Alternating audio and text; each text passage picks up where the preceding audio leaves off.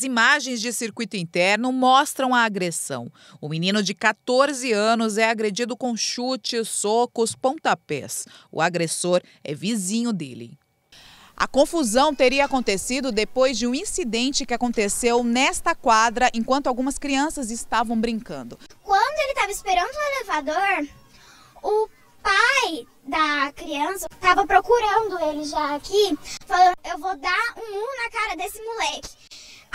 Quando ele achou é, o menino lá dentro da torre, ele chegou, largou o chinelo e deu uma voadeira no menino e começou a dar soco. E ele falou: Não, tio, eu não bati na sua filha, não, tio.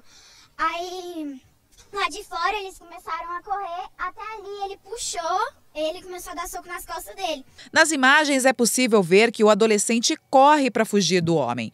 Emerson Souza Campos vai atrás dele. O vídeo não mostra, mas a agressão continua. Ele levou uma porrada na cara, chute nas costelas, murro nas costas. Ele ficou todo ralado aqui, assim, porque ele bateu ele emprestado na parede, com hematoma no rosto, que tá roxo nele.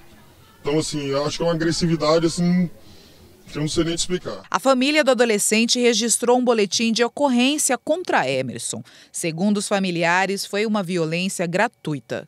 Nada justifica um pai de uma criança, um cara que tem 40 anos, agrediu uma, outra, uma criança com 14 anos de idade por causa de uma discussão de meninos brincando numa quadra de futebol.